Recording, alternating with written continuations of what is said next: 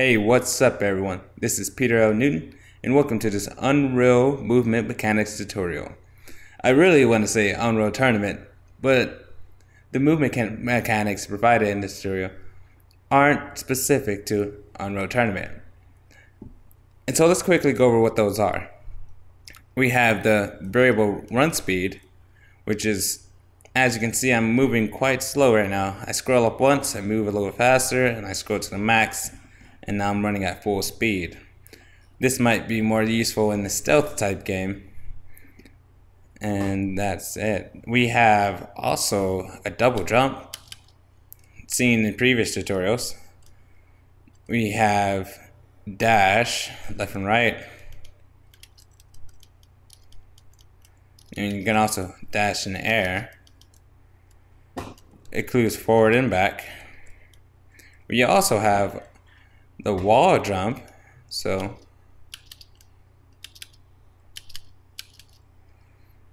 we also have wall running. So the way this works is you do one jump and then the second jump that you would typically do in the air, you press space again on the wall and now will begin the wall running.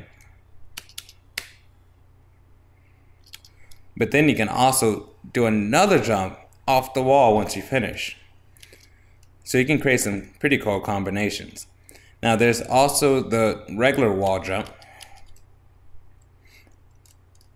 And lastly, there's a sprint, which only lasts for a certain amount of stamina that you have created.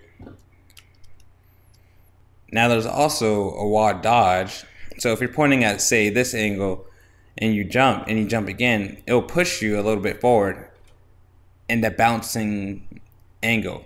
So it's just imagine if you're running towards a wall and you were to jump off a wall, you would jump in roughly the same angle you would in real life.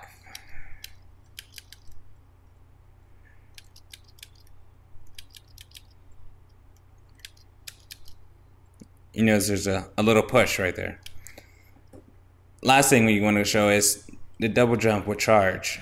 And so this is a normal double jump. Look at how far I jump in the air. Just above that line. Now I'm gonna hold the spacebar for one, two seconds and get another jump. You can see I almost reached the second line. And so those are some of the movement mechanics that we'll go over in this series. One thing I want to go over before we get into that is is pacing.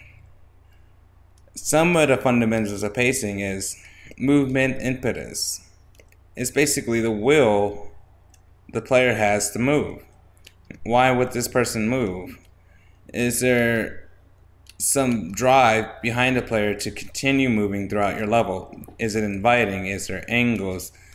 Does it shape in a way that contours to movement?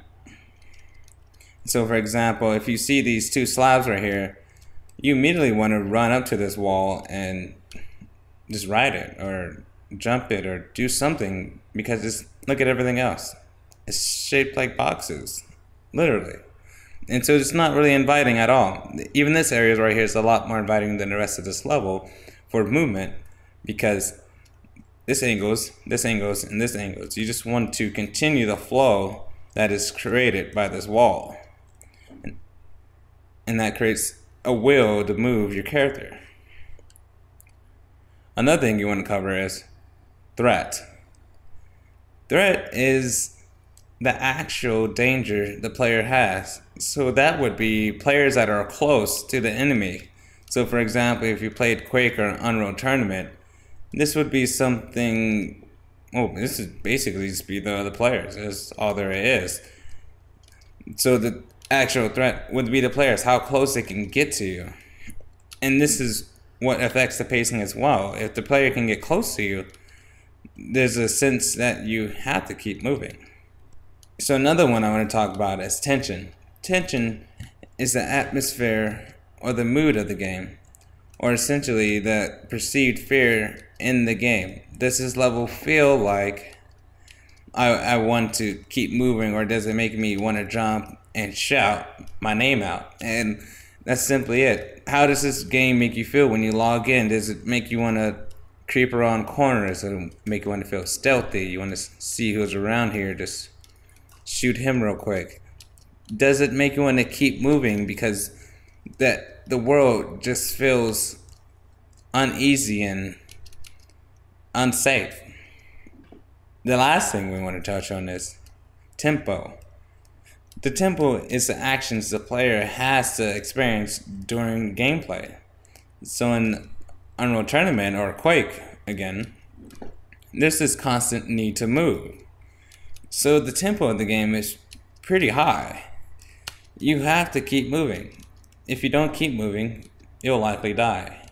And so that creates the tempo of the game. That's why people call it fast paced. It's this constant need to move. And it gets your, your blood pumping. You know, it's real intense. It feels like you're just in the action because there's always this need to move. Even though there could be that time where you're by yourself, constantly moving, not finding anyone, but there's this fast, fast pace. And that's it. So, pacing is something you really want to consider when implementing these mechanics. Though it can be fun to have every mechanic possible, you want to